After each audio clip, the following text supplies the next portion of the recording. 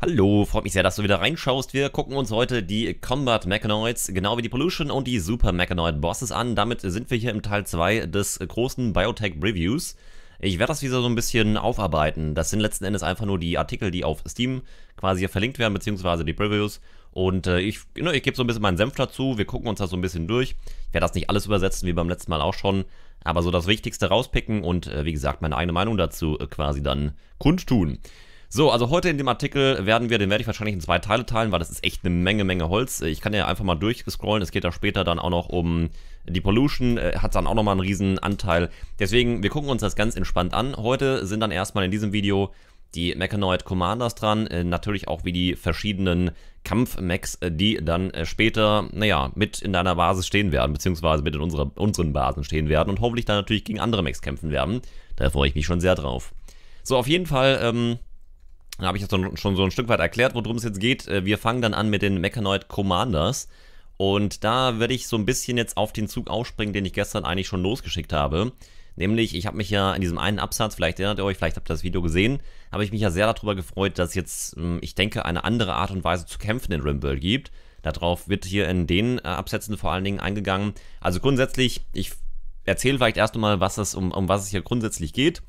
Also äh, grundsätzlich gibt es drei verschiedene Commander. Ich denke mal, da sind auch dann die Bosse gemeint. Das wird jetzt hier nicht so explizit erwähnt, aber da sieht mir sehr bosshaftig aus, was die hier machen. Äh, die kann man sich tatsächlich auf die Karte rufen. Dazu kommen wir dann, wie gesagt, gleich nochmal. Da auch war jetzt mein, äh, mein Intro hin ähm, deutend, dass man halt auf andere Art und Weise kämpft. Aber grundsätzlich erstmal, warum würde man überhaupt sowas einführen? Naja, also grundsätzlich halt erstmal, um eine neue Challenge zu geben. Das ist ja relativ normal, dass mit einem neuen DLC dann auch eine andere Art von Challenge immer noch dabei ist. Na, wir erinnern uns, äh, das war halt in Royalty der Mac Cluster, der zum ersten Mal dann auf deine Karte geplumpst ist und dann plötzlich eine Base, eine Mechanoiden Base in deiner, auf deiner eigenen Karte ja, begründet hat. Dann gab es ja mit äh, Ideology die, die Pre-Trades, das war ja auch eine weitere Herausforderung. Ein sehr gekonnter Versuch, deine Mauern zu überwinden. Und ich vermute mal, das wird jetzt vermutlich, also ich habe keine Ahnung, vielleicht gibt es da noch eine andere Challenge, aber das wird vermutlich dann die große Challenge von Biotech, die dann hier auf uns zukommt. Und das hat eigentlich nicht nur den, den Grund, dass man jetzt irgendwie dann, weiß ich nicht, einen neuen Haufen Feinde auf die Base äh, zufliegen lässt, dann halt eben seine Stärke testet, sondern es hat ganz praktische Gründe denn man bekommt schöne Technologie von denen. Ne? Da wird es im Einsatz, im Eingangssatz wird es beschrieben, man soll sie quasi vernichten und dann kann man von ihren toten Leibern und von ihren Smoking-Hüllen, äh, ich weiß nicht genau, ich übersetze das sehr wild, äh, auf, jeden, auf jeden Fall kann man davon dann schöne Chips äh, bekommen und Advanced äh, Mechanoid Technology. Also genau das, was wir natürlich haben wollen, um eigene Mech-Armeen ähm, aufzubauen. So, und äh, ja, im Grunde genommen ist das auch schon das Wichtigste. Ansonsten kann man noch dazu sagen, dass jeder Mechanoid Commander halt eine ein anderes, eine andere Art von Mechanoid-Ship dann halt auch wirklich, also ein, ein Landungsschiff dann quasi auch landen lässt. Ähm, da sind dann natürlich unterschiedliche Arten von Gegnern drin und natürlich auch ein, ich sag mal, immer andersartiger Boss. Da gehen wir dann gleich auch nochmal speziell drauf ein. Da gibt es, wie gesagt, drei Typen, habe ich ja schon erwähnt. Und ähm, ja, ne, wie gesagt, das Wichtigste auch hier nochmal erwähnt, man bekommt halt Ressourcen daraus und natürlich auch äh, Techno Technologie, um dann halt seine eigenen Machinators abzugraden, beziehungsweise dann vor allen Dingen auch High-Tier-Mechs zu bauen. Also es hat mehrere Gründe. Ne, natürlich zum einen die Infrastruktur abzugraden und natürlich sein, letzten Endes mit dem Upgrade der Infrastruktur ist das ja auch immer gleichzeitig ein, ein Upgrade des Machinators und äh, naja, dann natürlich gleichzeitig brauchst du auch die speziellen Gehirne, äh, beziehungsweise die Subpersonas, die speziell für die hoherwertigen Mechs äh, dann der, der Fall sind oder gebraucht werden. Die bekommt man also auch dann eben daraus.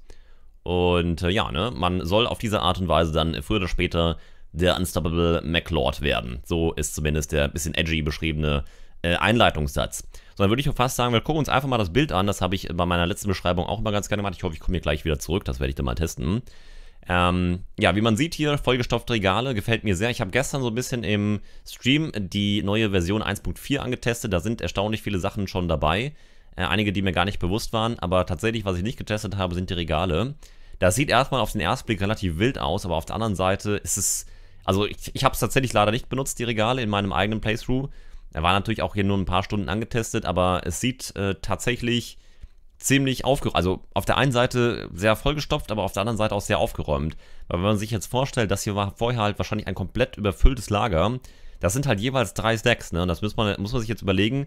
Das ist dann einmal Steine, zweimal und dreimal. Und dann, also das, dieser ganze Raum ist wahrscheinlich, hiermit voller mit Materialien, als das der Fall wäre, wenn natürlich jetzt alle, wenn jetzt hier keine Regale drin stehen würden. Deswegen, das sieht ein bisschen geknollt aus, aber auf der anderen Seite ne, sehr viel aufgeräumt, aber vor allen Dingen natürlich auch sehr viel übersichtlicher. Und ähm, so leicht kann das gehen. Ne? Man braucht letzten Endes nur ein paar Regale. Und ich habe auch kurz darüber nachgedacht, als ich die Regale so ein Stück weit vorgestellt hatte. Reichen denn drei Stacks aus? Ist das dann jetzt, sag mal in Anführungszeichen, genug für so ein Regal, was man da aufbaut? Und ja, ich denke schon. Weil ganz ehrlich, das ist, glaube ich, die Schmerzgrenze von, wir stopfen hier so und so viele Produkte rein und dann verlieren wir halt komplett die Übersicht, was jetzt hier auf diesen einen Stack. Also letzten Endes ist das ja trotzdem ein Stack mit drei Produkten drin oder mit drei Produktstacks. Ähm, aber ne, es ist trotzdem, es erspart eine Menge Platz, denke ich, sind wir uns alle einig. Und auf der anderen Seite ist es trotzdem noch übersichtlich genug, dass man auch hier gerade bei ne, sehr großen und sehr ausfüllenden Stacks hier mit drei verschiedenen Gütern, dass man trotzdem noch sehen kann, was Phase ist. So, aber wir wollen ja eigentlich hier nicht über die Regale reden, das nur mal so kurz zur, ähm, ja, zur Erklärung. Man sieht hier übrigens mal wieder, dass ich denke, das ist ein Kind, was angeschossen wurde. Ne? Übrigens nur mal so, äh, naja, ich, ich erwähne es nochmal so. Ich, die Screenshots geben schon immer sehr viel auch von dem anderen Gameplay her. Also da ist durchaus, äh, kann man mal wieder einen Sneak Peek be betrachten. Ich habe immer wieder Leute im Chat, die dann fragen, Mensch Chris, was denkst du denn, wie werden die denn die Kinder einsetzt und kann man damit wirklich alles? Ja, kann man. Also offensichtlich ne, ist es, ist es alles möglich, offensichtlich. So. Und ja, hier sehen wir übrigens auch sehr gut, habe ich ja gestern auch so ein bisschen äh, fabuliert drüber, wie könnte das denn aussehen, was nimmt man dann hier mit zum Kampf. Das sind offensichtlich, also die Färbungen sind äh, dann logischerweise die verschiedenen Seiten. Ähm, offensichtlich sind die blauen Mechs in diesem Fall die Mechs, der, die auf der Seite der Kolonie kämpfen. Hier sieht man beide Tanks im Einsatz, also das sind halt offensichtlich die Miner, die natürlich auch gleichzeitig als Tank eingesetzt werden sollen. Hier sieht man auch, glaube ich, so ein Stück weit schon so ein Schild, kann ich da noch näher ranzoomen. Das ist anscheinend ein, ein Schild, oder kann auch sein, dass das eine Explosion ist von einem von denen hier. Ähm, könnte natürlich, wie gesagt, ein Schildgurt sein, haben die ja mit drauf. Und die tanken offensichtlich einfach erstmal die Schnitter. Und auch hier sieht man schon mal, das ähm, sind verschiedene Arten von, von Mechs, die man hier auf seine eigene Seite holen kann. Das hier ist, ich weiß nicht genau, was es ist, das dürfte neu sein. Das ist auf jeden Fall eine Waffe eines Pikiniers. Der wird auch offensichtlich anvisiert von dieser, wir werden gleich noch herausfinden, was das ist, von diesem Commander hier. Und das sind natürlich die normalen Lancer. So, das sind die normalen Schnitter. Alles klar soweit. Und die hier sind auch neu. Ich glaube, das sind die Schrotflinten-Max, die ähm, werden wir bestimmt auch heute noch sehen, bin ich mir relativ sicher. Ansonsten ist ja eine Menge Feuer. Also, ich bin mir nicht sicher, was hier den Brand auslöst. Also, man kann jetzt natürlich nur darüber spekulieren, was das hier ist. Ne? Offensichtlich ist das eine große AOE-Attacke. Äh, äh, offensichtlich muss der ein bisschen anvisieren. Also ich vermute mal, das ist vergleichbar mit einer Superwaffe wie mit einem Doomsday oder sowas. Da hat man halt eine relativ hohe Anvisierungsdauer, aber wenn das dann durchgeht, dann ballert das halt richtig rein. Ne? Und ich gehe stark davon aus, da sonst keiner hier Feuer dabei hat, weil wie gesagt, das hier sind mit hoher Wahrscheinlichkeit die äh, Schrotflintenbots, wird wahrscheinlich die Feuerattacke von ihm ja kommen. Also ich gehe stark davon aus, das ist so eine Inferno-Kanone auf Steroide. Äh, ansonsten kann ich mir beim besten Willen nicht erklären, wo so viel Feuer herkommen soll. Das wird mit hoher Wahrscheinlichkeit auch Explosionen auslösen, weil offensichtlich waren hier ja Wände. Das äh, ist ja offensichtlich nicht einfach eine Riesentür hier. Und deswegen gehe ich stark davon aus, auch sonst hat niemand was Explosives dabei. Hier, das weiß ich nicht genau, was das ist. Das könnte theoretisch gesehen ein Flammenwerfer sein. Aber wie ihr seht, äh, nichts davon ist in irgendeiner Art und Weise explosiv. Jetzt liegt natürlich noch so ein großes Ding rum. Das weiß ich nicht genau, was das gemacht hat. Aber ich würde jetzt einfach mal wetten, das hier ist sehr heiß und sehr explosiv, äh, was uns da angreift. So, wir sehen hier einen dieser Machinator. Wir sehen auch hier unten noch einen zweiten. Also offensichtlich äh, ne, kann man auch durchaus relativ easy mehr davon haben. Man sieht auch hier die neuen Rucksäcke, die sind jetzt zu einem großen Teil schon mit in der 1.4 enthalten. Äh, das ist jetzt nicht, also kann man theoretisch gesehen schon einen Blick drauf werfen. Die haben übrigens auch das Smoke äh, Pack, haben sie tatsächlich auch in einen Rucksack umgewandelt, genau wie diesen Foamwerfer. Der wäre übrigens an dieser Stelle wahrscheinlich super praktisch. Ähm, und ja, ich glaube, sonst so viel mehr können wir da gar nicht rausnehmen. Man sieht, hier wurde ein Teil getroppt. Das ist offensichtlich eines der wertvolleren Teile, denn ich gehe stark davon aus, dass hier war ein Commander. Und äh, offensichtlich bekommt man das nicht aus jedem Mac raus, wobei jetzt, ich sehe tatsächlich gar keinen Mac, der jetzt hier wirklich von den Feinden schon gestorben ist. Ähm, weiß ich auch nicht, ob die von hier unten kommen oder ob die wirklich mitten in der Base gelandet sind. Denn das ist ja auch wichtig, wir haben ja eben schon äh, quasi erfahren, man ruft sich den Kram ja selber ran. Dann muss man natürlich gucken, wo man sich das ranruft. Denn irgendeine Art und Weise gibt es ja diesen, äh, diesen Signaler, dieses äh, Gebäude, wo man halt wirklich dann die Signale ausschickt. Und also es kann halt natürlich sein, dass diese Person das hier mitten in der Base gemacht hat. Da sind offensichtlich ein paar Sachen kaputt gegangen. Das können aber auch einfach nur die Lampen gewesen sein. Ist jetzt eine Menge Spekulation, muss auch wahrscheinlich gar nicht so ins Detail sein. Ich versuche jetzt mal irgendwie hier zurückzukommen, wenn ich das hinbekomme. Kriege ich das irgendwie? Ja, ich habe es geschafft, wieder äh, aus dem Bild herauszukommen, war gar nicht so einfach. Und äh, auf jeden Fall wollen wir da jetzt natürlich mal weitersuchen, äh, was uns der Text so hergibt. Also weniger mein Rumspekuliere und mehr mal vielleicht an die Fakten halten. Das schadet ja auch nicht. So, also, was äh, ist der Sinn des Ganzen? Habe ich ja eben schon erwähnt. Grundsätzlich erstmal, um ein bisschen an Loot zu kommen und natürlich vielleicht auch um die eigene Stärke zu testen. Was haben die sich dahinter gedacht? Also letzten Endes sollen diese Super Mechanoids, die sollen in, allererster Linie so eine Art Milestone-System bilden die halt vor allen Dingen die Mechanoid, ähm, also diesen Mechanoid-Pfad halt so ein Stück weit äh, beschreiben. Also zum einen sollen die natürlich Stück für Stück stärker werden, zum anderen ist das aber auch ganz deutlich und ganz klar mit dem äh, Mechanator halt verbunden, also mit dem Pfad des Machinators. Im Grunde könnte man also sagen, das was für Royalty oder ja, für Royalty tatsächlich die Quests sind, um an Ehre zu kommen, ist halt das hier für den Machinator. So im Großen und Ganzen. Auch hier wird man wahrscheinlich nicht wirklich stumpf Quests erfüllen müssen können. Ich gehe stark davon aus, es wird auch Quests geben, wo man halt solche Chips als Belohnung bekommt. Also das wird in irgendeiner Art und Weise auch geben. Allerdings ist der Machinator äh, Fahrt offensichtlich sehr stark aufs Kämpfen ausgerichtet, denn, kann ich auch schon mal direkt vorwegnehmen, man wird diese Bosse mehrmals rufen können. Und ähm, das wird auch hier so beschrieben. Ne? Also erst schon mal, wie gesagt, es wird äh, gebraucht. Also offensichtlich gibt es hier auch ein bisschen Research. Ne? Ähm, ist, also man, man beschreibt das hier so quasi, während andere, während das bei anderen Sachen äh, halt einfach äh, okay ist, dann einfach den Research-Baum zu benutzen, will man auf jeden Fall, dass sich dieser Machinator-Pfad ein bisschen anders anfühlt. Und ähm, letzten Endes soll es dabei darum gehen, dass man auch immer so ein Stück weit sich selbst halt fordert. Also man, man muss immer weiter äh, die tougher und tougher Challenges dann quasi dann auch bestehen. Also ne, die, die Herausforderung soll auch wirklich dann immer und immer schlimmer werden. Und äh, das wäre halt ein bisschen lame gewesen, wenn man das einfach nur researcht und dann hast du halt da so eine mega Mac-Armee stehen. Man soll schon ein bisschen dafür schwitzen. Ne? Das steht hier durchaus so zwischen den Zahlen drin. Äh, und das finde ich auch tatsächlich ziemlich cool, weil es wäre wirklich in Anführungszeichen recht lame, wenn man einfach hingeht und sich dann den Krempel dann erforscht und plötzlich so einen super Mac dann da stehen hat, der wahrscheinlich alles niederwalzt. Denn offensichtlich kann man den Kram ja später dann auch bekommen. Äh, also ich hoffe es zumindest mal. Und das gab es ja auch in Ansätzen schon mal so ein bisschen in Royalty. Da gab es ja auch dann irgendwann die Kataprakt-Rüstung. Die musste man ja zumindest dann auch erstmal über Händler, irgendwelche Blueprints äh, sich äh, ranschaffen. Die konnte man ja eigentlich theoretisch halt direkt erforschen. Allerdings, naja, ich sag mal, musste man dafür schon noch ein bisschen Arbeit, ein bisschen Geld ausgeben. Theoretisch gesehen sogar relativ viel Geld. Und deswegen ist das hier einfach nur konsequent weitergedacht, mal wieder auf die nächste Ebene. Finde ich übrigens schön, dass sie viele der Gedankengänge, das hatten wir gestern im Video auch schon sehr oft, dass sie viele der Gedankengänge aufgegriffen haben und jetzt hier mit Biotech dann, wie ich persönlich finde, einfach aufs nächste Level heben. Ähm, sehr konsequent, gefällt mir sehr gut, wenn man sowas macht, wenn man dann auch wirklich bei den alten Wurzeln bleibt und dann aber eher zugibt, okay, hat vielleicht nicht ganz so gut funktioniert, wie ich mir das vorgestellt habe, packen wir doch einfach noch eine Schippe drauf. So, ähm, ne, es gibt dann, in, also letzten Endes als Loot wird dann hier beschrieben, beziehungsweise ähm, jedes Mal, wenn man so eine Welle dann besiegt, beziehungsweise so einen Commander besiegt, gibt es dann eine, ja, gibt es dann Tons of, äh, ja, neue kontrollierbare Macs und neue Hirnimplantate, neue Gebäude und ansonsten noch weiteren Gear und Tech und hast du nicht gesehen. Also es soll auf jeden Fall es soll extra rewarding sein. Es soll sich auch lohnen, den Kram zu besiegen. Da bin ich persönlich sehr beruhigt, dass das anders ist als die Komplexe in Ideology oder auch in Royalty. Ich weiß nicht, ich glaube, die kamen erst über Ideology. Die waren halt nice to have, aber ich persönlich habe sie halt nie genutzt, weil einfach das Rewarding war nicht hoch genug. Die, die Gefahr war viel zu groß, dass äh, die Belohnung viel zu niedrig dagegen. So, das ist ganz, ganz wichtig und darauf wollte ich halt initial eigentlich hinaus, als ich so ein bisschen hier diesen Absatz aufgemacht habe. Da habe ich mich ja gestern schon ein bisschen dran aufgehängt. Letzten Endes ähm, möchte man das Ganze hier schon ordentlich knackig hart machen. Ich glaube, das kommt auf jeden Fall durch. Und man soll das aber trotzdem auf seinem eigenen, äh, auf seiner eigenen Geschwindigkeit, auf seinem eigenen Spielspeed quasi gestalten.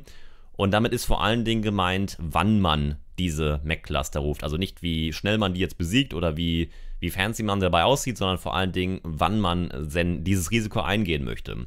So, und dann wird nämlich genau dieser Satz beschrieben, auf den ich mich gestern super gefreut habe, beziehungsweise auf dem ich mich heute sogar noch mehr äh, ja, reinsuhlen werde, denn das ist tatsächlich, wie ich persönlich finde, eine richtig, richtig coole Idee. Das fehlt mir schon lange so ein bisschen in Rimworld, denn das entspricht zumindest meinem Spielstil halt in brutaler Art und Weise. Ich bunker mich sehr gerne ein. Ich habe sehr gerne eine super gute Verteidigung. Ich mag es sehr gerne in extrem kontrollierten Umgebungen halt den Fight dann auszukämpfen. Das kann man meinetwegen als lame bezeichnen. Ich persönlich bezeichne das als sehr strategisch.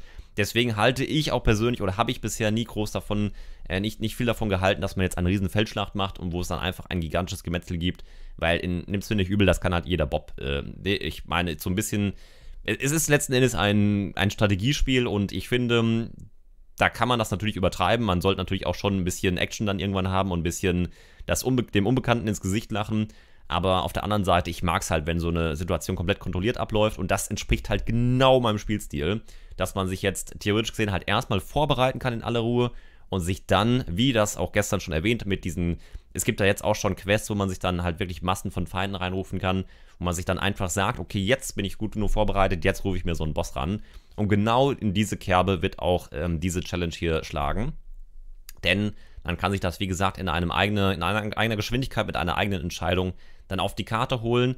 Und ähm, ja, im Grunde ist damit auch schon das Wichtigste genannt. Äh, ich denke tatsächlich, das wird den, ähm, den Spielstil, vor allen Dingen auch diese Challenge, diese, diese, äh, diese Mac-Challenges, wird das ähm, in einem ganz anderen ja, Licht erscheinen lassen, wie das, was man sonst so hat. Man wird natürlich auch weiterhin Angriffe bekommen. Ist natürlich stark davon abhängig, wie fair das jetzt im, am Ende wirklich geregelt ist, inwiefern sich dann halt die Geschichtenerzähler anpassen. Also es kann natürlich theoretisch passieren, das gibt es ja bei den Quests auch schon, deswegen sage ich immer, wenn ihr Quests annehmt, wo dann halt massenhaft Feinde auf die Karte kommen, dann mag die Belohnung noch so toll sein. Ihr müsst immer bedenken, die eigentliche Gefahr hinter dem Quest zu besiegen ist nicht das Schlimmste. Das Schlimmste, was passieren kann, ist, dass du direkt noch in die nächsten zwei bis drei Feindwellen reinrauschst, weil einfach der Geschichtenerzähler plötzlich auf die Idee kommt, ja Mensch, ich habe ja hier schon lange nichts mehr gemacht, ne? Lass uns doch mal wieder ein bisschen fetzen und dann hast du plötzlich anstatt der einen kontrollierbaren Gefahr, die du dir bewusst selbst reingeholt hast über die Quest, hast du dann plötzlich noch einen weiteren Raid und keine Ahnung was mit am Start.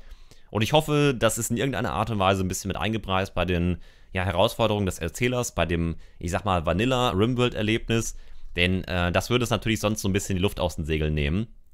Aber ich gehe mal stark davon aus, wenn sie dann wirklich schon so einen großen Fokus darauf legen, dass man sich da seine eigene Challenge machen soll, dass man sich selber bestimmen soll, wann und was und wie man vor allen Dingen kämpft, beziehungsweise gegen wen, denn das ist ja auch wichtig. Man kann nämlich diese Commander auch tatsächlich selber aussuchen. Das finde ich nämlich ist der nächste Schritt und auch ziemlich gut geregelt. Ich hoffe natürlich, dass sich der Geschichtenerzähler dann ein bisschen dagegen, ähm, ja, beziehungsweise damit anpasst. So, ansonsten sei noch erwähnt, dass man die theoretisch gesehen so oft wie möglich rufen kann. Ich überfliege, ich habe das eben halt schon mal überflogen, deswegen, ich weiß jetzt nicht mehr genau, wo wir sind. Ich versuche einfach nur mal alles aufzugreifen, weil ich noch im Gedächtnis habe. Man kann die sich so oft wie möglich ranrufen, diese Landungsschiffe. Und das sehr Interessante daran ist nicht nur, gut, der, erste Punkt ist eigentlich so ein bisschen logisch, es wird natürlich jedes Mal stärker.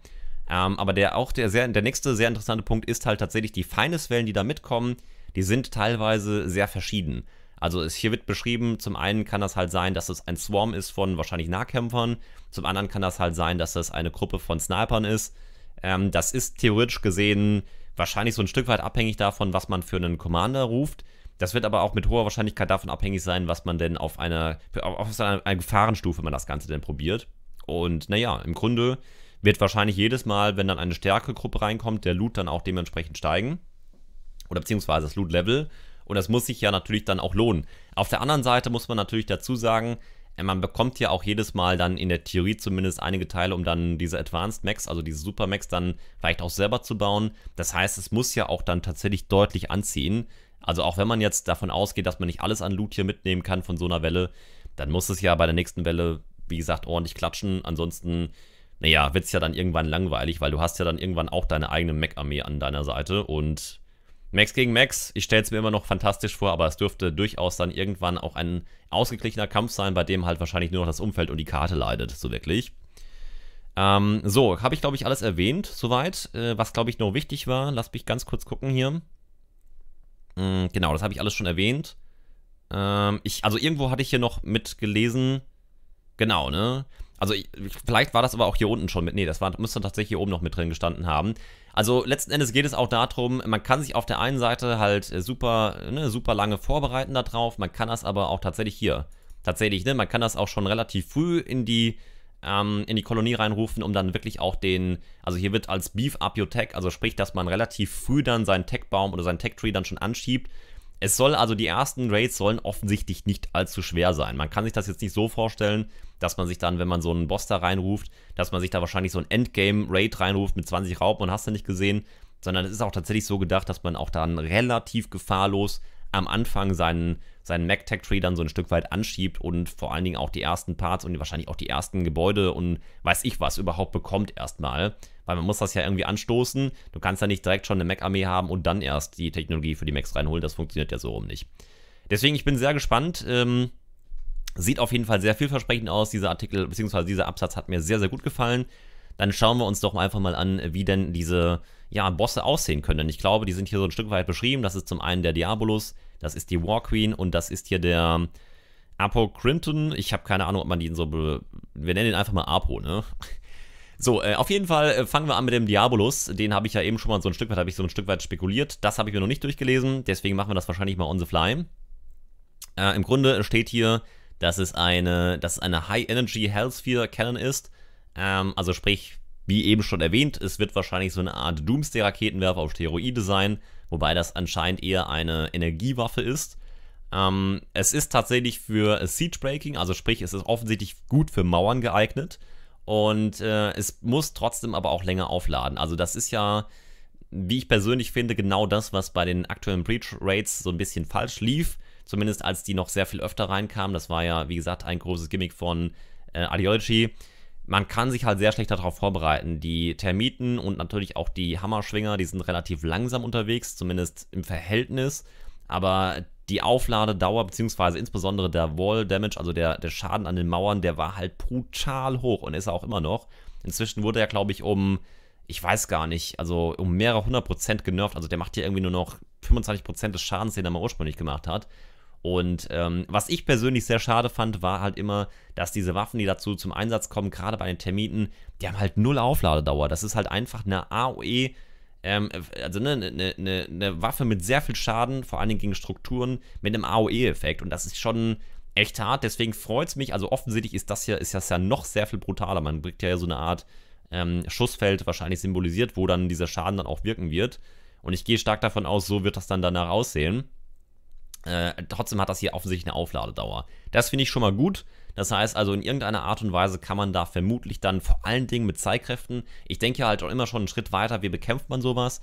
Und der, der größte Nachteil aktuell an sehr vielen Zeitkräften ist meiner Meinung nach, dass sie selber auch eine, nicht nur eine Animation haben, sondern auch eine Wirkungs- äh, beziehungsweise ein, eine Wirkdauer, bis die halt erstmal im Einsatz sind. Und damit kann man halt sehr viele Attacken nicht wirklich abbrechen. Also ich, ich denke da immer so ein bisschen an den Doomsday-Raketenwerfer, den Triple Launcher, das äh, ist, wie ich persönlich finde, ein prädestinierter Fall, wo man dann auch mal sowas wie Anlocken ansetzen kann oder sowas wie, ich weiß nicht, was da noch alles gibt. Ähm, es gibt auf jeden Fall verschiedene Psykräfte, wo man auch, naja, ich sag einfach mal so eine Aufladedauer vielleicht unterbrechen kann. Und ich weiß jetzt nicht, inwieweit das gegen Mechanoiden wirkt. Mechanoiden und Psykräfte ist immer so ein schwieriges Thema. Sehr oft ähm, sind die Psykräfte gegen Max quasi fast gar nicht wirkungsvoll, auch wenn das jetzt irgendwelche Berserker und sowas Sprüche sind. Lanzen wäre natürlich wunderbar, wobei ich nicht glaube, dass man so eine so einen Commander mit einer Lanze ausknipsen kann. Das wäre komplett braindead. Also ich gehe mal stark davon aus, Lanzen werden nicht dagegen einsetzbar sein. Und aber trotz allem, ne, lange Rede, kurzer Sinn, auch wenn man jetzt letzten Endes halt nur eine Wall hier zieht. Also es gibt ja, wie gesagt, noch zahlreiche andere, auch jetzt äh, Psykräfte, die jetzt nicht unbedingt auf den Gegner wirken. Man stelle sich vor, man zieht jetzt einfach Wall Race hoch oder sowas oder keine Ahnung, was es da noch für theoretische Möglichkeiten gibt und dann wird halt die Sichtlinie unterbrochen. Das kann halt schon ausreichen, um so eine, so eine Wind-Up, äh, so eine Aufladedauer dann halt eben zu unterbrechen. Finde ich schon mal sehr interessant. Schon direkt die ersten Kampftechniken ausgedacht hier. So, und äh, ja, im Grunde, ne, es braucht seine Zeit, um es aufzuladen, aber es kann letzten Endes sogar durch, äh, durch äh, ja, Beton sich schmelzen und äh, sogar Bohnen, äh, ne, also Knochen vaporisieren. Klingt auf jeden Fall schon mal relativ drastisch. So, was, äh, ich gucke nochmal kurz hier drüber, was haben wir als nächstes noch? Waste Power, mhm, mhm. So. Ah, okay, also das ist quasi die, nah das ist die Fernkampfwaffe. Im Nahkampf kann es dann ähm, tatsächlich große Feuerexplosionen auslösen, also sprich, wenn du ihm dann wirklich zu nahe kommst, wie jetzt hier dargestellt. Ich wollte nämlich gerade sagen, letzten Endes ist das halt natürlich auch ein Fernkämpfer und was macht man gegen äh, Fernkämpfer, die sehr OP sind? Man schickt natürlich Nahkämpfer ran, um dann halt eben diese Fernkampfattacke zu unterbinden aber da wurde sich offenbar was ausgedacht. Das ist nämlich für Menschen offensichtlich sehr tödlich. Dann wird nämlich einfach eine riesen Feuerexplosion ausgelöst. Aber was bedeutet das natürlich im Umkehrschluss für uns? Wir setzen natürlich Max ein. Also sprich, Nahkampf-Max sind gegen diese Art von Mac-Commander wahrscheinlich richtig, richtig stark, weil Max und Feuer, who cares, ne? Die holen sich da höchstens einen Sonnenbrand. Ansonsten sind die, was Feuer angeht, komplett immun. Ähm, schon mal eine wunderbare Idee. So, ne? Und quasi dann um die, um die Close Range dann eben naja, ich sag mal, zu verhindern wahrscheinlich. So, was haben wir ansonsten noch hier drin? Hm, also wenn man, also hier, ne, während man auf der einen Seite, das ist also anscheinend eher so eine Art Glaskanone, das ist auf, auf der einen Seite extremely powerful, aber auf der anderen Seite ist es sehr wenig, also ne, es äh, fehlt an Manövrierfähigkeit und wahrscheinlich, wenn man sehr schnell und agil halt eben draufhaut oder wahrscheinlich dem Ding zu nahe kommt, dann kann man das wahrscheinlich gut unter Kontrolle halten. Also es hat offensichtlich hier bei dem ersten Punkt haben wir schon mal einen Commander mit sehr starken Stärken, aber auch deutlichen Schwächen. Finde ich sehr solide. Gut, dass man da nicht einfach nur sagt, wir überladen das Ding brutal und, und hoffen dann, dass das von der Masse da niedergejoinkt wird irgendwann. Das soll deutlich äh, klare Schwächen haben auch. So, dann haben wir hier die War Queen. Ich gehe mal stark davon aus, auf den ersten Blick sieht mir das sehr stark nach einem, äh, nach einem Nahkämpfer aus. So. With a built-in. Okay, also das kann tatsächlich weitere Max spawnen. Ähm, ja, tatsächlich schon. Also das gibt ja diese. Okay, never mind. Das gibt halt, das ist, äh, die War Queen ist im wahrsten Sinne dann eine Königin. Äh, die kann tatsächlich ihre, eigenen, ihre eigene Produktion da mitnehmen. Das ist ja auch hochinteressant, so eine Art Trägerschiff. Finde ich ziemlich cool. So, given time to build up. Also man sollte der Maschine wahrscheinlich nicht zu lange Zeit lassen, um dann irgendwie ihre kleine Mech-Armee dann aufzustellen. Äh, genau. Wird's, ansonsten, ansonsten wird man halt einfach komplett von diesen Rurkins, ich keine Ahnung, wie man die übersetzen würde, wird man da wahrscheinlich überrannt werden. So. Ja, also nur failing to destroy it quickly. Mhm, mhm. Overruns. Ja, sehr interessant auch, auch hier. Ne? Wieder eine, eine deutliche Stärke. Also wirkt für mich persönlich wesentlich stärker als das hier. Das kann man so ein bisschen vergleichen mit, äh, sagen wir mal, in, mit einem richtig krassen Bossfight in anderen Kämpfen. Während das hier also eine brutale Glaskanone ist, die auf dem ersten Blick keine Schwächen hat mit dem Feuer hier rundherum. Man muss halt wirklich gezielte Waffen gegen, diese, gegen diesen Boss hier einsetzen. Äh, ist das hier so ein typischer Boss, der wahrscheinlich erstmal gut aushält, aber gleichzeitig, wenn man ihn dann lässt und wenn man ihn erstmal, der wird wahrscheinlich nicht viel Schaden machen. Ich gehe stark davon aus, wenn das Ding hier überhaupt eine Fernkampfwaffe hat, dann wird es wahrscheinlich nicht viel Schaden machen. Es wird aber schwer zu besiegen sein. Und das Problem ist halt, wenn man bei sowas dann nicht genug Feuerkraft mitbringt, wie jetzt hier beschrieben, wobei eine schwere MP dürfte wahrscheinlich schon ein bisschen Schaden machen, dann wird das Ding einfach eine gigantische Menge von diesen kleinen Teilen hier ausspucken und von denen wird man irgendwann überrannt. Das sind halt so diese Ads quasi in irgendwelchen, äh, ne, wahrscheinlich zu beschreiben in irgendwelchen MMOs oder so, die halt einfach nur im Weg sind und die meistens halt nur dafür da sind, irgendwie die Ability, äh, Abilities wieder aufzuladen oder die, Cooldowns wieder aufzuladen. Die können trotzdem irgendwann gefährlich werden ab einer gewissen Menge. Und auch hier wieder deutliche Stärke, deutliche Schwäche. Fände ich ziemlich cool. So, dann haben wir noch den Apocrinton. Ich hoffe, ich spreche das einigermaßen richtig aus. Das ist, ähm, Jetzt bin ich sehr gespannt, was jetzt noch kommt. Das sieht so aus, als könnte der Max schocken hier auf dem Bild. Ein Psychic Warrior, okay. Ähm, Hatred, okay. Der, also der, der hat auf jeden Fall ordentlich Hass gegen die Menschheit dabei. das ist natürlich schon mal wunderbar für einen Mechanoiden. So. Es ist nicht viel über ihn bekannt. Okay, also seine Psychic-Kräfte können Menschen vergiften ähm, die innerhalb der, der Mind Range liegen. Also anscheinend hat er eine festgesetzte Reichweite und kann dann mit seiner psychischen Power kann er dann Menschen vergiften. Seine Waffe ist Hadred, okay, sehr interessant. Äh, also offensichtlich kann er dann vielleicht Leute durchdrehen lassen, zu Berserker machen lassen. Das wäre jetzt so mein, mein Gedanke. Also ganz offensichtlich ist der relativ effektiv gegen Mechanoiden. Der kann die offensichtlich schocken oder vielleicht auch mit diesem ja, vielleicht, kann, vielleicht ist das auch diese Hassattacke, dass der irgendwie, ich weiß nicht, die Mechanoiden dann durchdrehen lässt, zu Berserker werden lässt. Das wäre halt relativ easy implementiert, weil diese Berserker-Möglichkeit, die ist ja sowieso schon drin. Es gibt ja schon diverse Berserker-Lanzen und hast du nicht gesehen. Und auch Berserker-Sprüche, also beziehungsweise Psykräfte. Deswegen ist ja diese Funktion definitiv implementiert und vielleicht hat der einfach auf Cooldown, äh, kann der das auf Max und auf Menschen draufhauen. Da würden sich natürlich deine eigenen Kämpfer gegen dich selber richten. Sehr interessant. Ich sehe da jetzt noch nicht wirklich die Schwäche. Ich kann mir sehr vorstellen, sehr stark vorstellen, dass das Ding fast gar nichts aushält. Das ist ja in der Regel immer so, wenn du halt, ne, wenn wir das mal so beschreiben, das hier ist halt so ein klassischer, weiß ich nicht, ähm, ja, so ein klassischer Brawler irgendwie, irgendwie, weiß ich nicht, du, äh, du, du stehst halt auf der einen Seite schon relativ nah im Kampf drin, auf der anderen Seite möchtest du halt eher deinen Fernkampf austeilen, also ein klassischer Kämpfer, während das hier so ein klassischer Tank ist und das hier halt so ein klassischer Mage ist. Ne, der ist halt, der kann wahrscheinlich brutalen Schaden rauskloppen. Ähm, vor allen Dingen natürlich auch, in Anführungszeichen, magischen Schaden und keinen äh, physischen Schaden, wenn man das jetzt mal, diese Metapher mal weiterführt. Aber natürlich ist das dann so typischerweise so eine Stoffi-Klasse. Also sprich, äh, der hat dann irgendeine Stoffrüstung an, im übertragenen Sinne. Und ist dementsprechend halt nur Pappe im Wind. Ne? Wenn du da richtig draufhaust, dann dürfte der wahrscheinlich schnell kaputt gehen. Muss aber wahrscheinlich erstmal drankommen.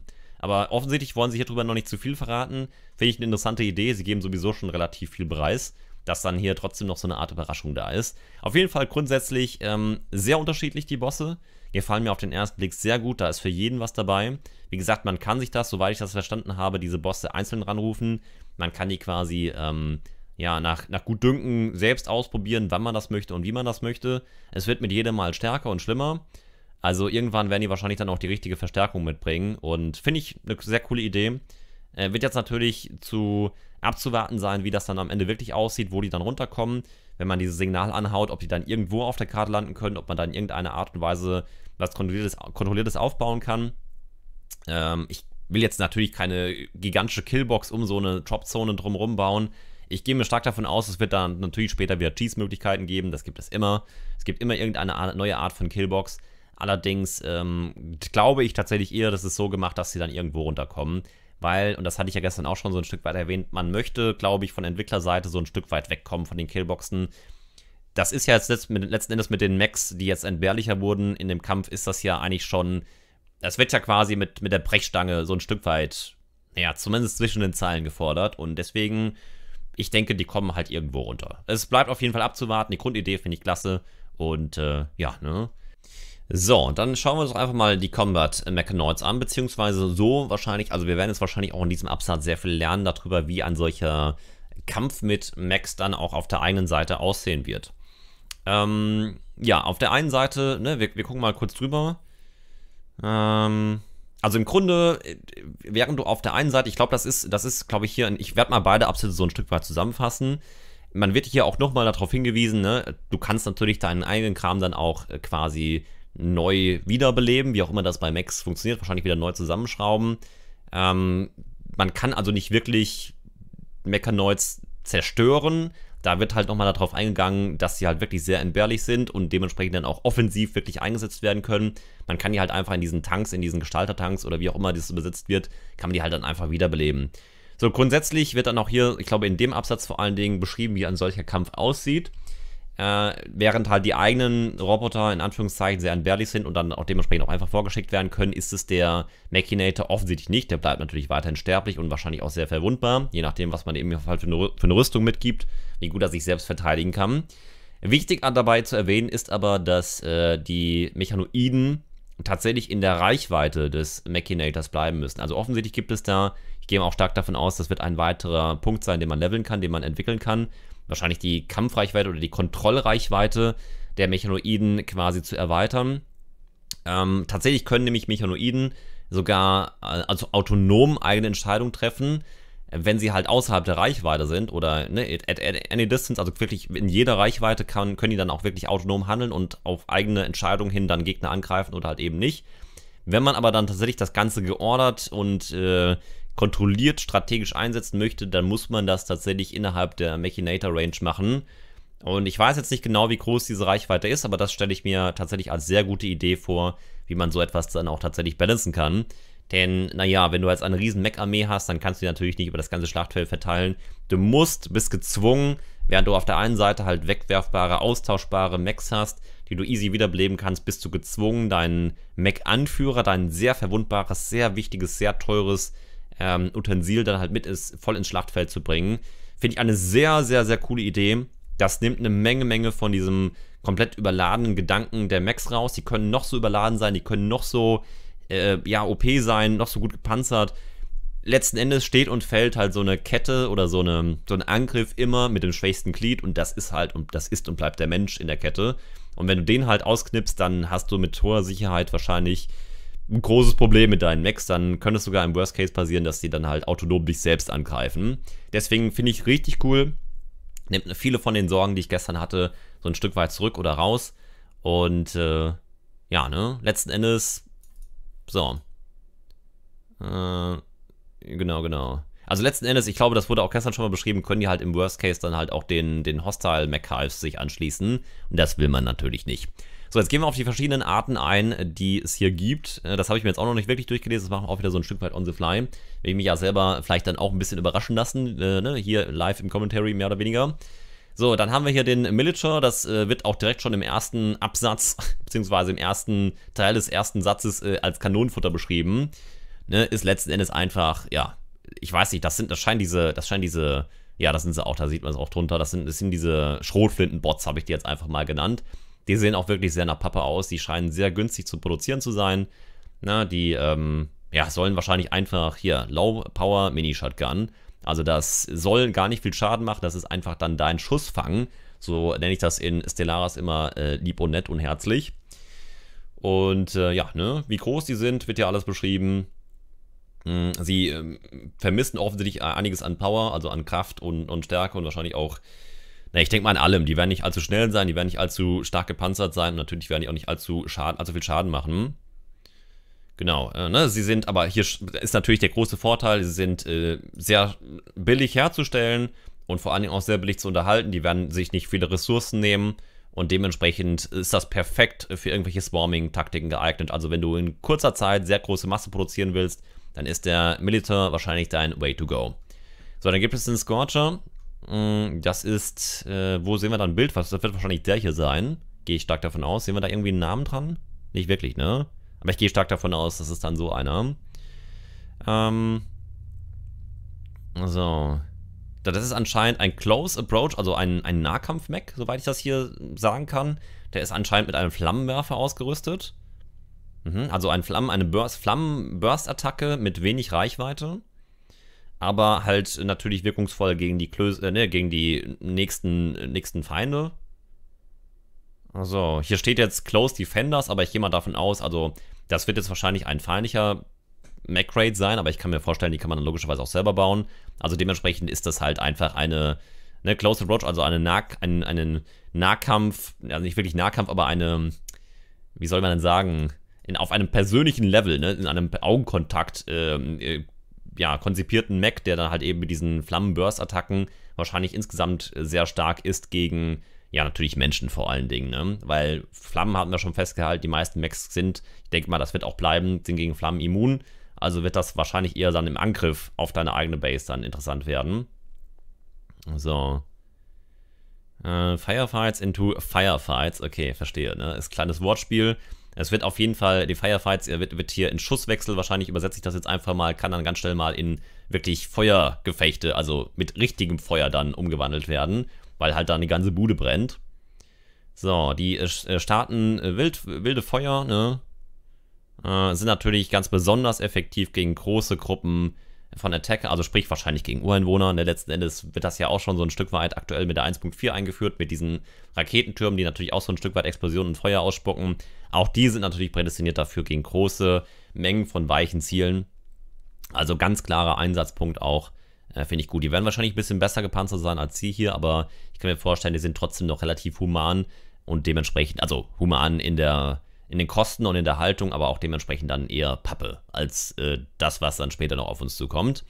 Dann haben wir hier den Legionär, übersetze ich jetzt das Ganze einfach mal. Das wird, ich bin mal sehr auf die deutschen Übersetzungen übrigens gespannt, ob die dann in Teilen hier bleiben, auf diesem, ja, das ist ja auch nicht wirklich Englisch, das sind ja auch eher Kunst, äh, künstlerische Wörter auf Englisch, zumindest ein paar davon. Ich bin mal sehr gespannt, inwieweit das eingedeutscht wird.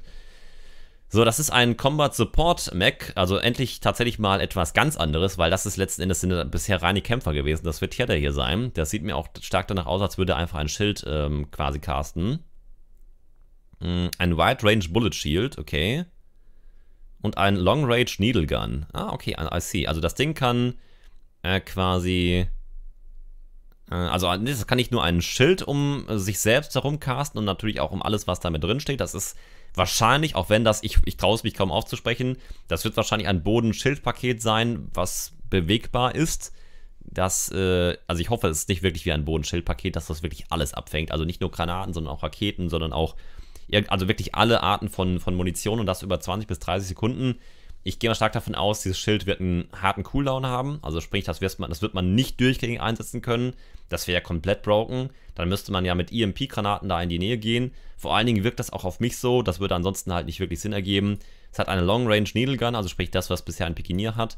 Ich kann mir vorstellen, dass der da gleichzeitig auch rausschießen wird, weil offensichtlich die legen alle an. Ne, das wird jetzt hier in diesem Bild nicht wirklich ersichtlich, aber die legen offensichtlich an. Dementsprechend können die also auch hier rausschießen.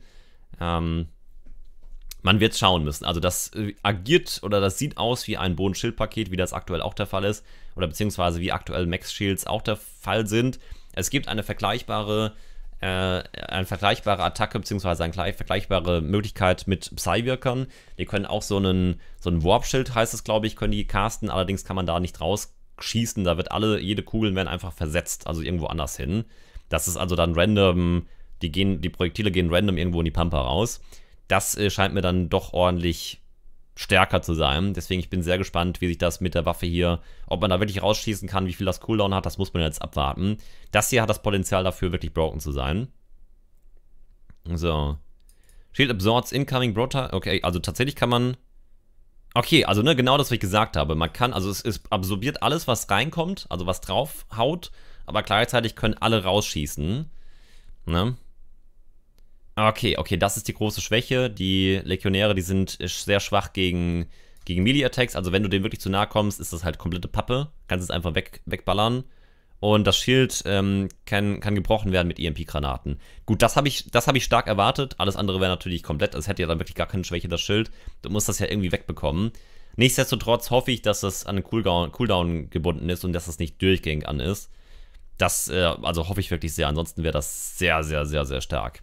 Weil wenn du da einfach nur genug Max reinballerst und vor allen Dingen auch deine eigenen Nahkämpfer reinballerst, man stelle sich jetzt diese Situation mal vor, wenn man in dieser Bubble hier, sagen wir mal, 5, 6, 7 Leute mit Katapraktrüstung drin hat, mit Zeushammer, mit Monoschwertern, ihr dürft halt niemals vergessen, unabhängig davon, was an Max sonst noch kommt, man kann das ja auch immer kombinieren. Also es wird ja auf diesen Bildern eigentlich immer nur schön so eine Mech-Armee gezeigt, aber man stellt sich jetzt einfach mal vor, man hat hier wirklich hochgepanzerte Katapraktkrieger drin mit äh, Steinhautdrüsen, mit wirklich den härtesten Nahkampfwaffen. Du würdest dieses Ding niemals tot bekommen. Also ganz egal, du kannst da eine Armee von Raupen reinjagen. Das würden deine Kataprakte halt aufhalten, sofern die halt nicht beschossen werden können. Deswegen, also schwierig, sehr, sehr schwierig. Ich hoffe tatsächlich, ich bin ja mal gespannt, ob es auch einen Mac gibt, der auch irgendwelche EMP-Waffen hat, aber eine EMP-Granate als einziges Counterplay hier für dieses Schild sehr schwierig. Wir werden, wir werden sehen. So, dann gibt es die Tesserons. Das sind die Medium Range, also quasi die, die im Schlachtgefüge mittendrin stehenden ähm, Mechanoiden. Die haben anscheinend einen Powerful Sweeping Beam, also einen ne, sehr starken äh, ja, Laser, keine Ahnung, eine Laserattacke. Ne, man sieht es hier, eine Art Lasergewehr. Erinnert mich stark an, an Fallout. So, ein Gamma Ray ne, haben sie also äh, haben sie dabei geladen. So, das äh, ist genug äh, Kraft, um dann halt auch irgendwas anzuzünden. Also sprich, das kann durchaus eine Feuerattacke sein. Man sieht es, dieser Turm hier, der geht offensichtlich auch in Flammen auf. Ah, okay, okay. Kann durch Schilde durchschießen. Sehr interessant. Ähm, haben sie sich also extra eine Attacke ausgesucht, die auch durch Schilde geht. Das wird wahrscheinlich mit hoher Wahrscheinlichkeit dann auch für Bodenschildpakete gelten. Denn die kann man ja nach wie vor, wie gesagt, auch noch einsetzen. Also das wird offensichtlich durch alles durchgehen. Mmh können aus sicherer Distanz halt, wie gesagt, mehrere Gegner angreifen. Und tatsächlich auch Breach-Shielded Enemies. Also man kann auch wirklich dann wirklich Schilde brechen anscheinend damit. Also nicht nur, dass man da durch Schilde durchschießt, sondern anscheinend kann man damit auch wirklich Schilde brechen. Das habe ich erwartet. Ne? Also ich habe in irgendeiner Art und Weise erwartet, ich hätte jetzt natürlich keinen Mechanoiden eine EMP-Granate in die Hand gedrückt. Das wäre halt total paradox. Ne? Äh, das kann natürlich nur in die Hose gehen. Deswegen haben die denen einfach eine Waffe, eine, sogar eine Distanzwaffe gegeben, Finde ich sehr, sehr cool. Mal gucken, ob man die auch als Mensch einsetzen kann. Das würde mich sehr interessieren, aber wahrscheinlich nicht. So, habe ich ansonsten alles hier erwähnt? Glaube, ne? Ähm, unable to focus the laser on close range. Okay, auch hier deutliche Stärke, deutliche Schwäche. Mhm, mhm, mhm.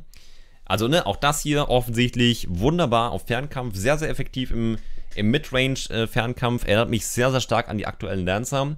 Auch die haben jetzt nicht die größte Distanz, wenn man jetzt mal überlegt, gerade im Vergleich zu Beginieren oder auch zu Raupen. Da sind die Lancer sogar eher unterlegen.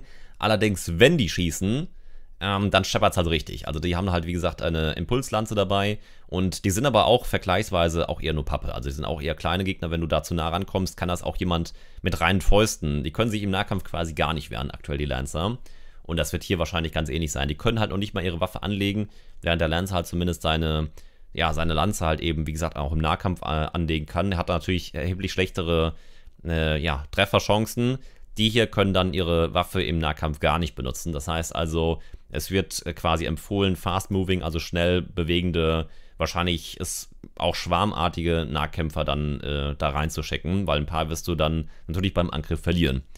So, dann haben wir den Centurion. Ein nahezu unstoppbarer, extrem schwerer Mech äh, mit einer Built-in Shield Bubble. Okay, mit einem Schildgenerator. Einem Point Defense Turret. Also sprich, das ist wahrscheinlich reines Defense. Und wenn du dem zu nahe kommst, dann hat das anscheinend ein Point Defense, wie auch immer. Ich weiß jetzt nicht genau, was damit gemeint ist. Normalerweise sind Point Defense Waffen, damit kann man halt auch eingehendes Feuer. Okay. Kann man halt eben abwehren, wobei das wird eher anscheinend, also das ist Point Defense ist in dem Fall wahrscheinlich eher äh, das, also ne, das kann auf der einen Seite kann das halt ein Shield casten oder generieren, auf der anderen Seite hat das halt eine, ja, defensive Waffe, die halt wirklich sogar einsetzbar ist, während sich das ganze Ding hier bewegt. Mm, ja, ne, ist, äh, logischerweise ist, ist quasi, es agiert im Kampf selbst als mobile Defense-Plattform. Ne? Ja, also das, äh, das, durch das Schild wird es halt zu einem der, der, streng, der, der besten Mechanoiden unter allen anderen. Und äh, ja, kann tatsächlich eine weite Range, beziehungsweise eine großen, einer großen Gruppe von eigenen Alliierten halt eben eine sichere Kampfmöglichkeit bieten. Was ich persönlich sehr, sehr, sehr, sehr cool finde, und da gehen, äh, da gehen nicht nur der hier, dieser kleine, äh, wie heißt der nochmal, Legionär, sondern auch vor allen Dingen hier der Centurion in diese Richtung. Offensichtlich, ich betone es nur immer mal wieder, es wird offensichtlich mehr der Kampf ähm, im freien Feld halt eben präferiert. Also offensichtlich ist auch das hier wahrscheinlich theoretisch gut in der Killbox geeignet. Man kann damit natürlich seine Killbox theoretisch noch, ja, noch mehr OP gestalten, indem man halt, wie gesagt, einfach hingeht und dann seine eigenen sehr gut geschützten Kämpfer hinter einer Barrikade oder sonst wie dann mit einem zusätzlichen Schild noch versehen. Aber sind wir mal ehrlich, das ist ja prädestiniert dafür, dass man das halt auch wirklich mal im freien Feld ausprobiert. Weil, ne, da kann man auch dann theoretisch ganz ohne Deckung kämpfen. Da geht halt nichts durch. Also man sieht hier offensichtlich die Ureinwohner, die können halt gegen dieses Schild überhaupt gar nichts machen. Der kommt halt gar niemand mehr durch. Ich vermute mal, das hier ist sogar noch ein Seilwerker mit drin. Finde ich super cool. Ähm, ist natürlich die, Frage, die, die, spannende Frage, wenn man das halt im freien Feld einsetzen kann, kann man das natürlich auch in Killboxen einsetzen. Wenn so ein Ding in der Killbox drin steht und vielleicht sogar das Schild über eine Mauer hinweg casten kann, ist das natürlich auch wieder komplett broken. Deswegen bleibt abzuwarten, wo hier die, die, die, die Schwäche liegt.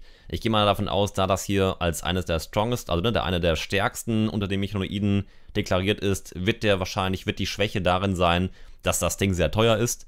Äh, denn eine wirklich klare Schwäche erkenne ich nicht. Wenn man dem zu nahe kommt, hat das halt, wie gesagt, die Point Defense, äh, den Point Defense Turret. Ansonsten bietet der wirklich eine noch größere Schildreichweite als das kleine Ding hier. Das wirkt sehr, sehr stark und auf dem ersten Blick sehr unausgeglichen. Ich kann mir vorstellen, das ist vergleichsweise sehr teuer und sehr selten zu bekommen und das wird dann halt dementsprechend die Schwäche sein. Das wird ein hohes Investment erfordern und wahrscheinlich auch ein sehr, sehr hohes Tech-Level.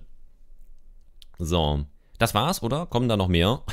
Ich, äh, also natürlich gibt es dazu jetzt noch die, das sind jetzt natürlich nur die neuen, ne? Also das ist alles, was an neuen Kampfmechs dazukommt.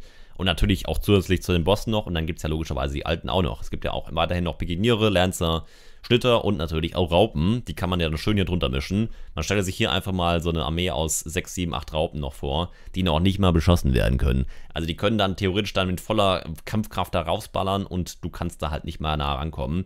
Das ist halt wirklich dann ein, ein, ja, wie soll ich sagen, ein Pulk von Gegnern, der wirklich unstoppable ist. Kann man nicht anders beschreiben. So 6, 7, 8 Raupen gegen so ausgerüstete Gegner ist, ist auch schon wahrscheinlich ja, absolut tödlich und dann auch noch mit einem Schild versehen, an das du noch nicht mal wirklich brechen kannst. Da muss ich ja überlegen, wenn das hier wirklich eine Point Defense ist, ich weiß ja nicht, wie groß die Reichweite ist, aber du musst ja mal mindestens so nah rankommen, um da irgendwie eine Granate reinzuwerfen, um das Schild dann halt wegzumachen. Da wirst du wahrscheinlich gar nicht weit genug reinkommen. Das wird sehr interessant, hier gegen zu kämpfen. Vielleicht werden die auch äh, vor allen Dingen auch die eigene Base raiden.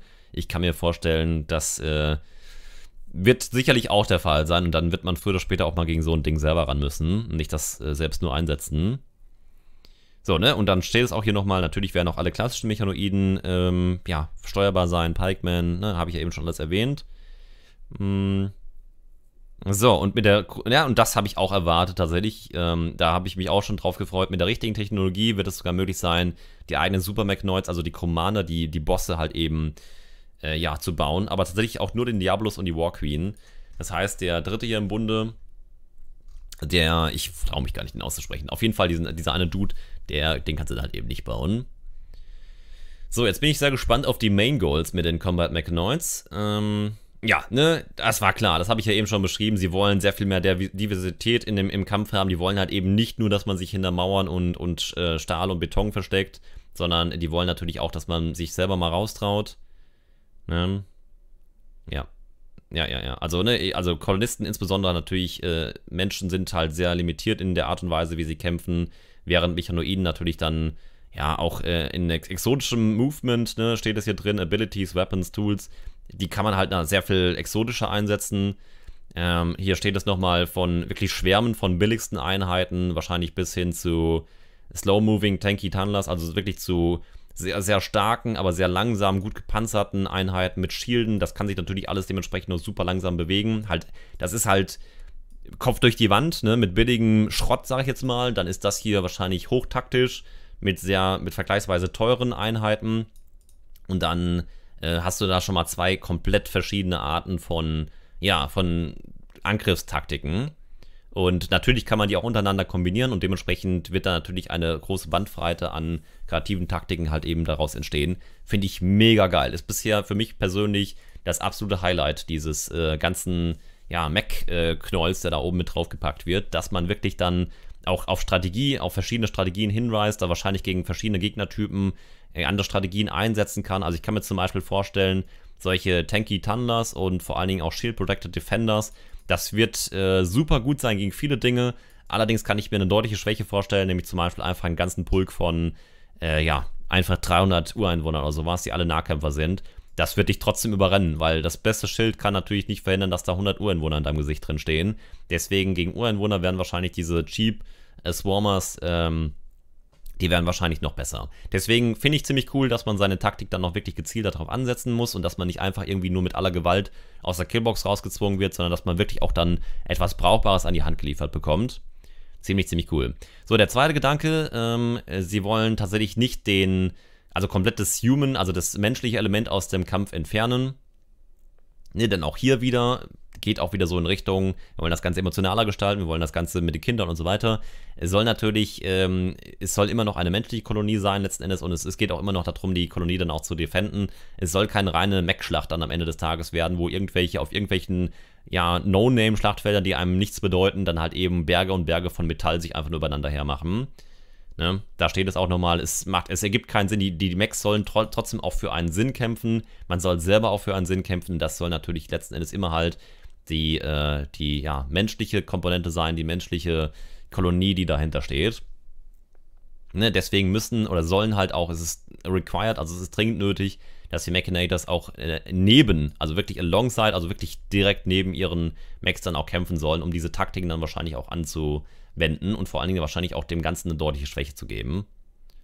Ne, genau. So. Facing down Hostile Max, also ne, feindliche Max, Piraten-Raids, als auch dann Manhunter-Packs. Also gerade auch gegen Tier-Raids, ne, auch nochmal eine weitere Schwäche von diesen, von diesen Tunnlern und Shield-Defenders. Also der beste Tunnler wird trotzdem nicht gegen 50 wild gewordene Eisbären dann wahrscheinlich verteidigen können. So, dann geht es um Mechanoid Colors und Names, das nehmen wir auch noch hier mit rein. Hm, man kann also auch seine Mechanoiden selbst gestalten mit verschiedenen äh, ja, Farben und einen ne, also man kann sie individualisieren, würde ich was einfach mal jetzt relativ frei übersetzen ähm, und dementsprechend dann auch unterscheidbar machen oder sagen wir mal besser unterscheidbar machen von feindlichen Einheiten. Und man kann sogar Einheiten dann sogar äh, umbenennen, also sprich Mechanoiden können dann tatsächlich auch die Namen von euch aus dem Twitch-Chat tragen. Finde ich cool, ne? Hier wird ein schönes Herzchen dargestellt, man kann jetzt natürlich auch Boden einfärben und dementsprechend kann man auch schön Imex einfärben. Da wird es wahrscheinlich dann auch, das wird wahrscheinlich sowas wie die Haircuts sein bei Menschen. Da wird es wahrscheinlich etliche verschiedene Formen geben, sowas wie Tattoos auf dem, äh, dem Mac-Körper. Ziemlich, ziemlich cool. Ne? Da sieht man es nochmal, verschiedene Farben. Was ich sehr interessant finde äh, an diesem Bild, das habe ich zufällig, habe ich das letztens schon mal die Tage gesehen. Da habe ich nur gesehen, dass man einen Schnitter offensichtlich an, um sich um ein Baby kümmern lässt. Äh, ich weiß nicht, wer auf die Idee kam, aber ich bin offensichtlich nicht der Einzige, dem man, dem man kein Baby anvertrauen sollte. Was man hier auch sehr interessant sieht, äh, finde ich total cool, dass man auch hier drüber nochmal so einen kleinen Einblick erhält. Nicht nur, dass sich auch offensichtlich irgendwelche Mechs, wobei ich jetzt nicht sicher bin, ob der sich wirklich darum kümmert.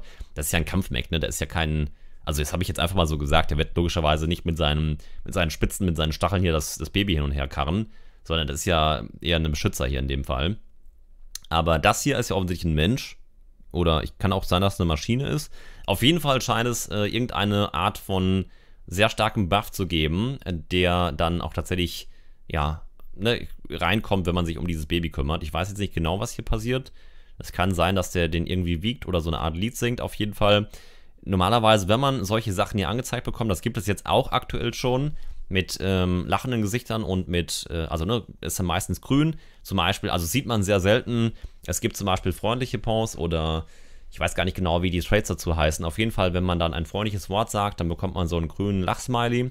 Und es gibt es auch tatsächlich dann äh, in, in roter Form, wenn das ein, ja, ich sag mal, Weihnachtsmiley bzw. ein trauriger Smiley ist. Dann zum Beispiel, wenn ein gebundenes Tier stirbt oder wenn irgendwie eine Verwandte stirbt oder sowas, dann hast du tatsächlich auch schon, also das offensichtlich wird das dann erweitert für Kinder. Das ist ja offensichtlich ein Baby hier. Ich kann mir also vorstellen, wenn das wirklich ein tagesfüllender Job sein wird, dann ist das auch ganz klar an irgendwelche Moodboni gebunden. Beziehungsweise andersrum, man muss sich ja immer dann überlegen, äh, was passiert denn, ich, das, ja, das ist ja letztendlich vielleicht einfach nur Moralbonus, was passiert denn, wenn ich das einfach ignoriere und das Kind einfach in die Ecke knalle und dann sage, jetzt werd mal groß, ne? ich interessiert mich nicht, was du denkst und willst. Es wird dann wahrscheinlich dementsprechend ein Moral-Malus damit verbunden sein, wenn man sich halt eben nicht um das Kind kümmert. So ein bisschen zu vergleichen, würde ich jetzt einfach mal wetten, wie bei den Raidern, wenn man halt lange Zeit nichts geradet hat, bekommst du halt ordentlichen Malus rein. Wenn du auf der anderen Seite sehr kontinuierlich raidest, dann wirst du wahrscheinlich einen dicken Bonus reinbekommen. Und das wird bei den Eltern ganz genauso sein.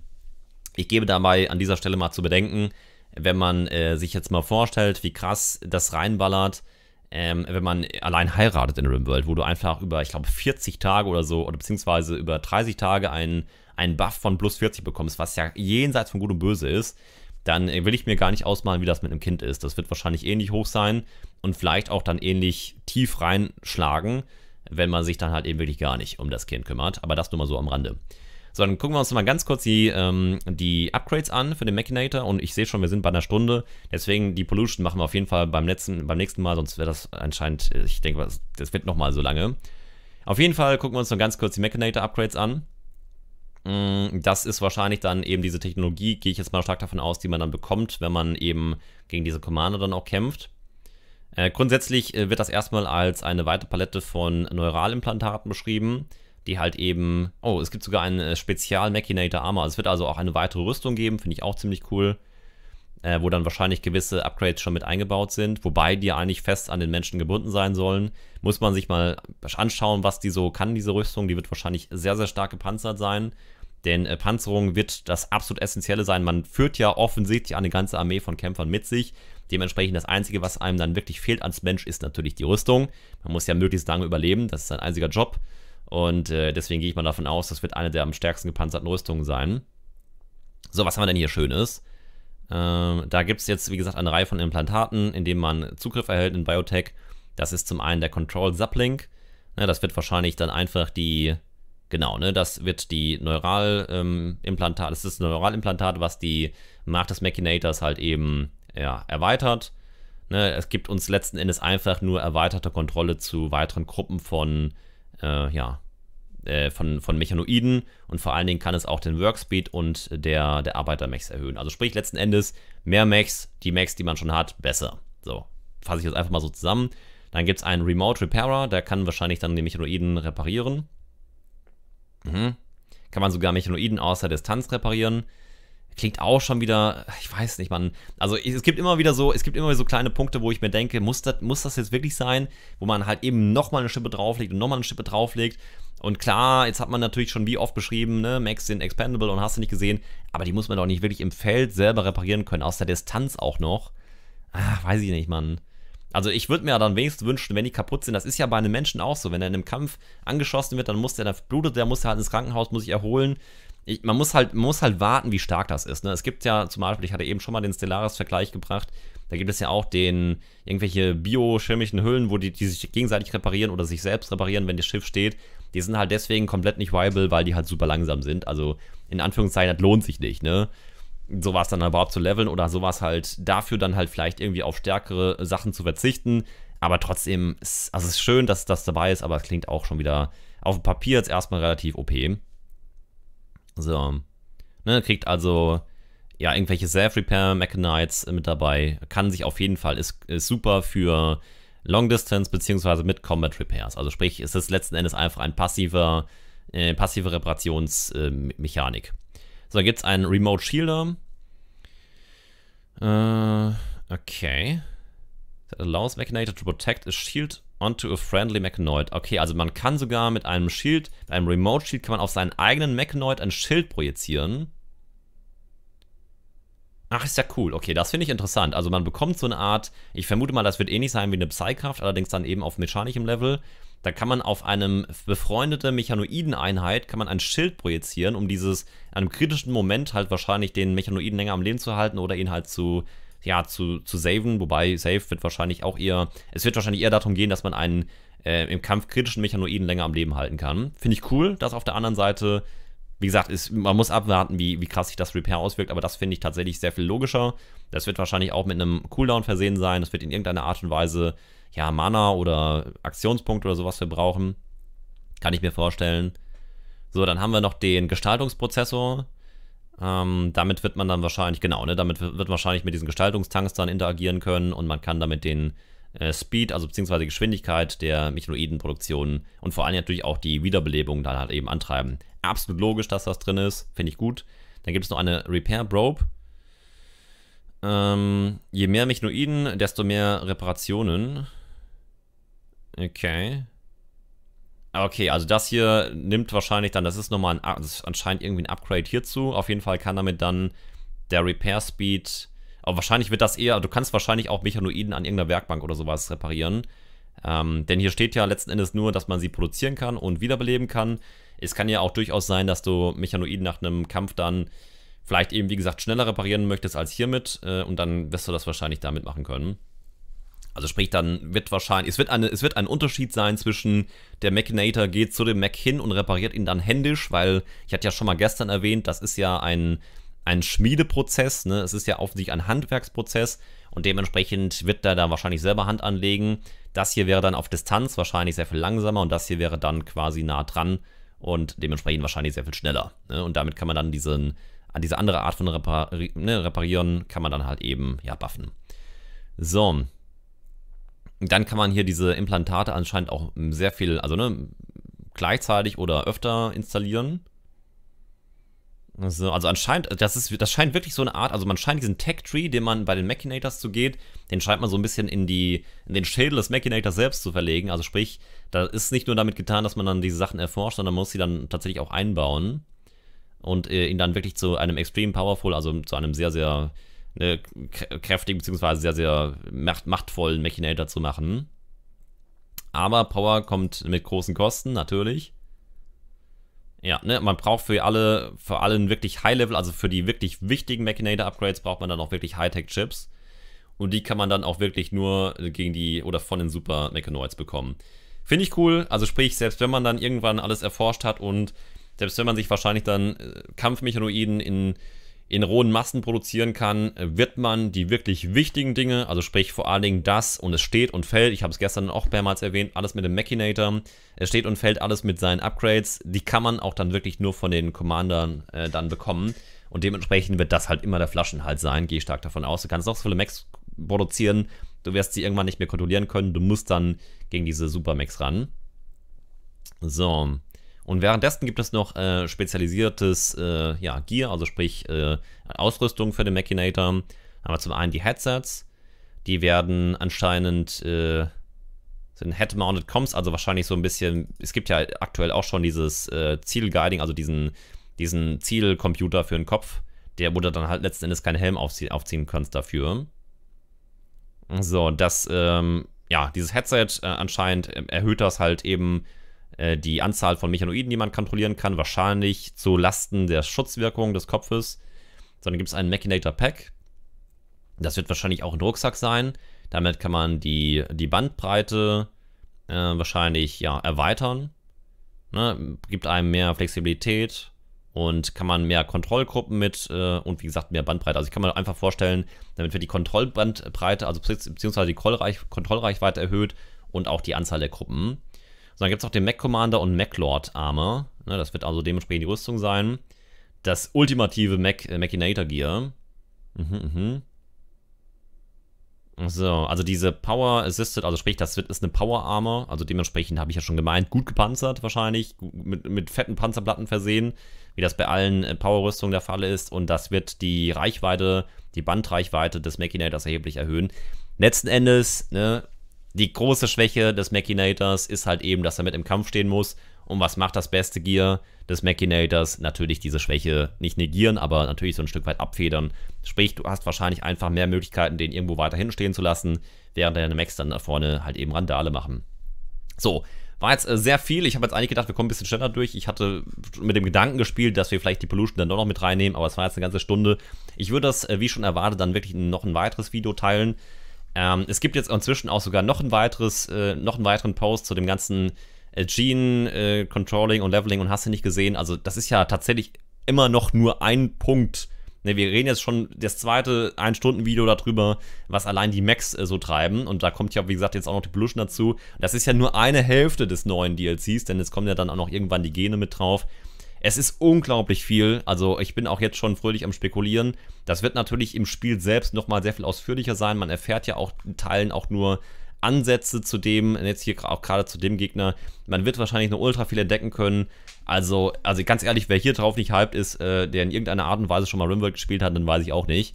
Es ist unglaublich, es gibt unglaublich viele Möglichkeiten und es ist wirklich so tief und auch in sehr vielen Teilen so durchdacht.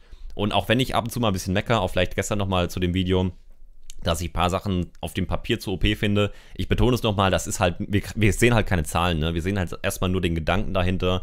Und ähm, gerade solche Schildsachen, mobile Schildsachen, auch dass die, dass die Arbeitsmax, wie ich persönlich finde, also ich, ich bin sehr erleichtert, vielleicht nochmal als abschließender Gedanke, dass die, dass die, äh, die, ja, die Kampfmax halt eben nicht so brutale überladen sind, dass sie halt eben nicht noch irgendwie zwei Utility-Slots haben und irgendwie nochmal Doppelwaffen und Nahkampf und Fernkampf.